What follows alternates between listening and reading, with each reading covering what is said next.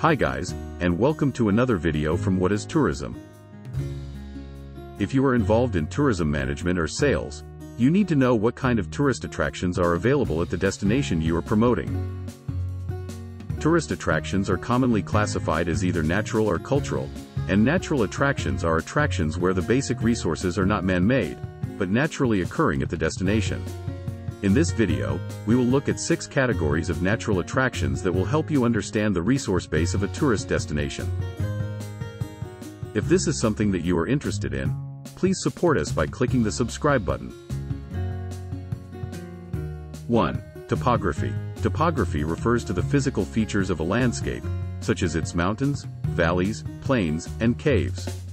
Such features can be attractive or interesting to visiting tourists for a variety of reasons, including their natural beauty, uniqueness, cultural significance, and recreational opportunities.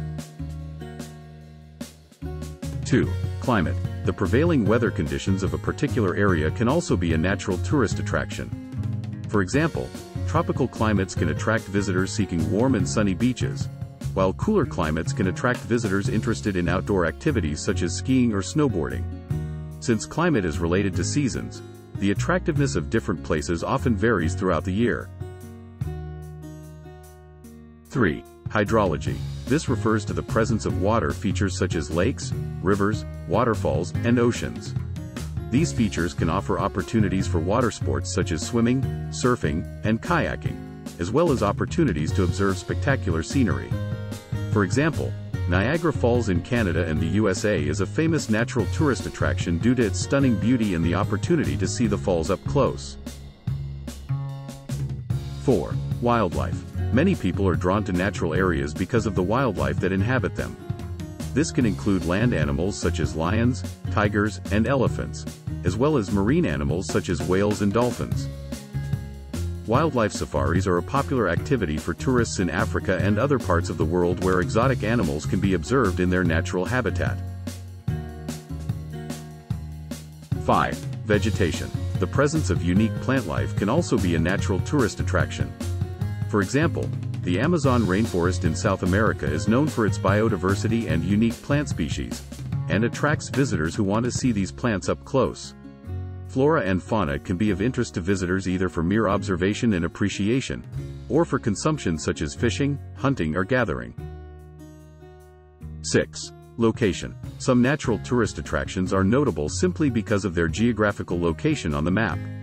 Places that are located furthest north, south, east or west, or highest, lowest, deepest or in the middle, often have a significant draw on travelers.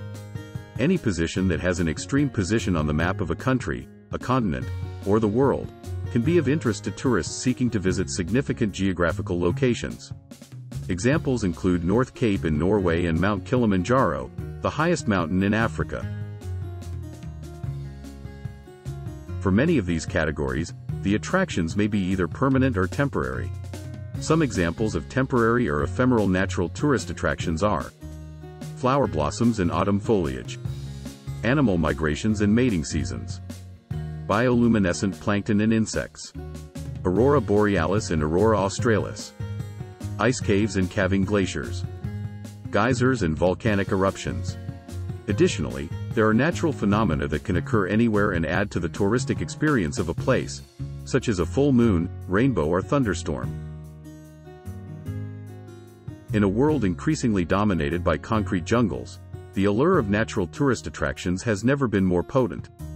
These attractions, ranging from towering mountains to serene beaches, from sprawling forests to mesmerizing deserts, offer an escape from the monotony of urban life and a chance to reconnect with Mother Nature.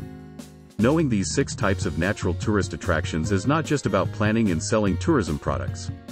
It's about appreciating the diversity and beauty of our planet. Each type of attraction offers a unique experience and a glimpse into the intricate and awe-inspiring systems that govern life on Earth. Thanks for watching. And if you enjoyed this video, please like and subscribe.